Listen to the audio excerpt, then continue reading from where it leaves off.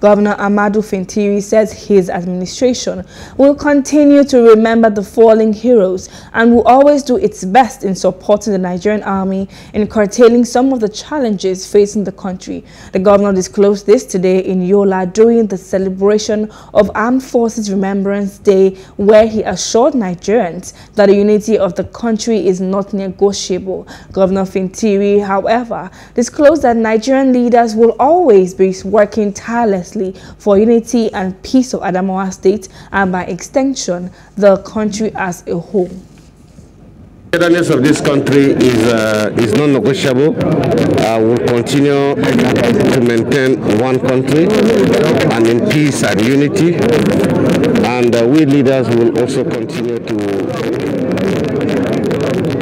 deploy development so that the citizens will feel better and united. Uh, I think we have no other country than to keep the united Nigeria.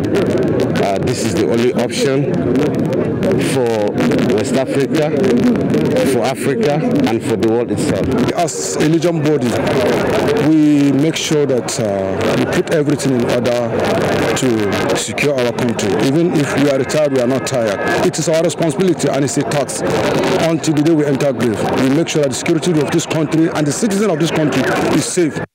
Hello. Hope you enjoyed the news. Please do subscribe to our YouTube channel and don't forget to hit the notification button so you get notified about fresh news updates.